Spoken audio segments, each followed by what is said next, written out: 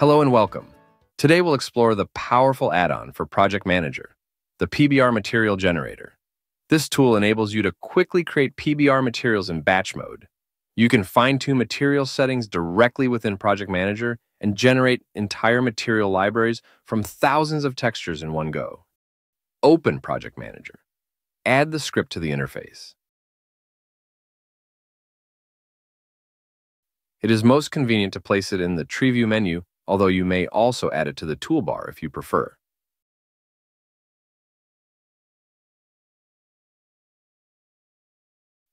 Select one or several directories containing textures prepared for creating PBR materials. Then open the PBR material generator. But Let's review and adjust the plugin settings before generating materials.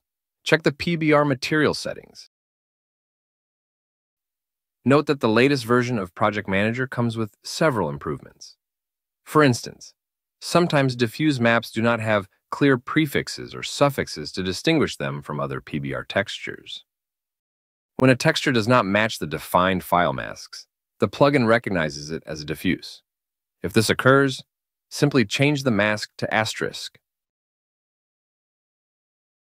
File exclusion by mask is also available.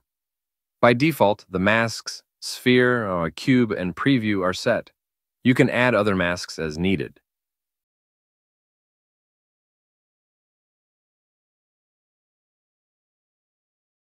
Additionally, the plugin allows you to specify the texture size to be used when generating materials.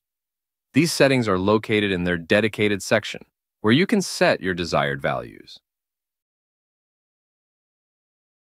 Let's launch the material generation process. Configure the utility by selecting where you want to save the material libraries. The following options are available.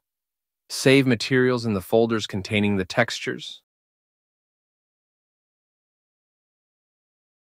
Save all materials in a single material library.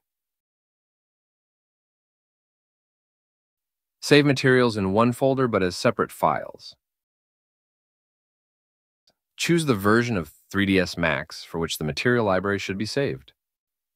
You can also select the desired renderer and the corresponding preset that will be used during material generation.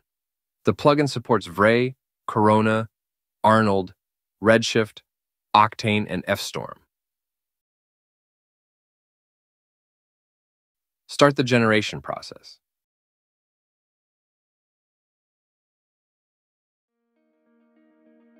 In just a few minutes, you will have ready-to-use materials in your preferred format.